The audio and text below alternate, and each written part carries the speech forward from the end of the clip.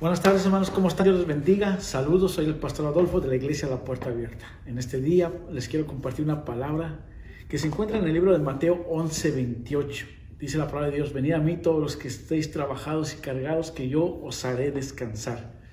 Eh, es necesario que aprendamos a correr, a correr al Señor cuando estemos con cargas, con tribulaciones y poderle decir, Señor, ayúdame, te necesito. Corramos a Él, corramos a su presencia y digámosle, Señor, yo necesito de ti.